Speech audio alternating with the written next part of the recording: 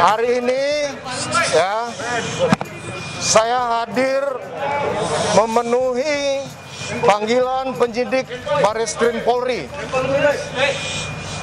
Pemeriksaan hari ini adalah pemeriksaan yang keempat.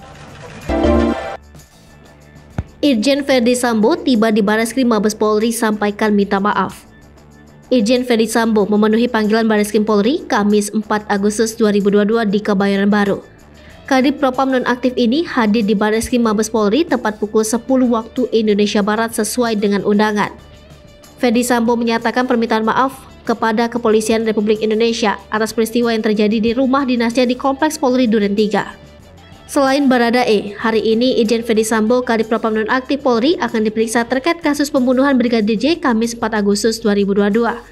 Kadip Humas Polri Ijen Dedi Prasetyo pun mengungkap status sementara Ijen Ferdi Sambo dalam kasus penembakan Brigadir J.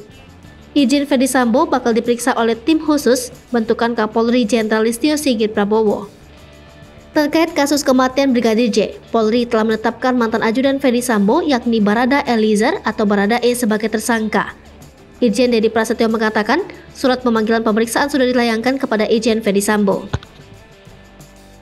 Hai pemirsa Sri Popo TV, jangan lupa komen, like, dan subscribe, serta tonton terus ya.